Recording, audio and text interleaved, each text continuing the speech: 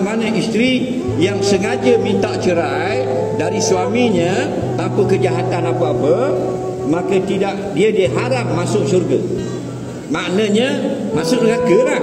Bukan balik semula tupak ni. Dah masuk neraka lah go to hell. Melainkan jika dibenarkan syarat.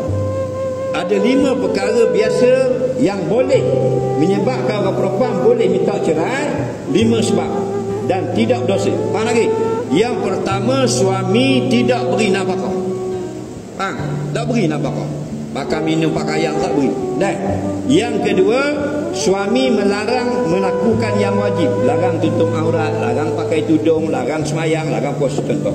Yang ketiga suami suruh buat haram. Suruh minum suruh, suruh liwat dan sebagainya. Faham lagi? Yang keempat suami dera Dera maksudnya sampai patah terajang pecah di muka bini tapak tumbuk faham boleh minta cerai okey yang kelima suami di penjara Nah, ada negeri yang 3 tahun, ada negeri yang 4 tahun boleh minta cerai.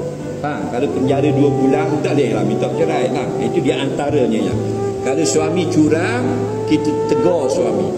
Kalau suami tak jadi apa juga masih berbuat benda yang haram, maka kita minta pihak mahkamah syariah kaunseling suami tak dia degil juga maka terpulanglah kepada kita.